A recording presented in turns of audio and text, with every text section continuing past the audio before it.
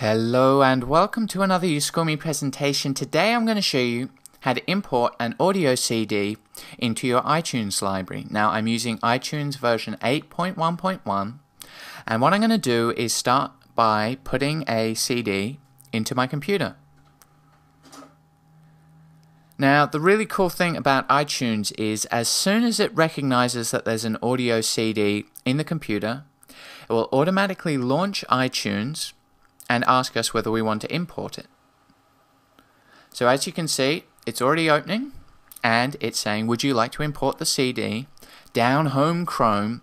And the other really cool thing is iTunes has automatically got the track listing from the iTunes store, so we don't have to enter any of this information. As you can see, it's got the name, artist, album, and genre already there. So to import this, I could just click yes and it will appear in my iTunes library.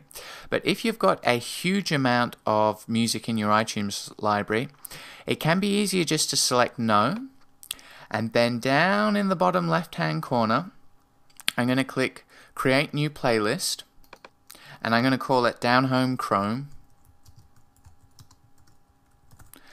I'm going to hit return.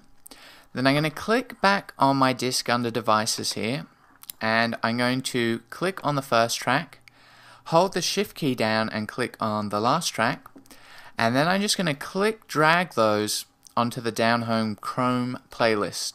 So as you can see, it's importing the tracks and not only will they be in the library, they will also be in my playlist. So those are two very nifty ways of importing music. So I hope that was useful and it's time to start digitizing all those great CDs that you have. Okay, so I'll be back with more advanced tutorials, of course, on importing stuff and working with preferences. But until then, that is a very simple way to start importing your CDs. Okay, hope that was useful. Check us out on YouTube, subscribe to our channel, and also vimeo.com forward slash channels forward slash you school me. Okay, thank you. Bye.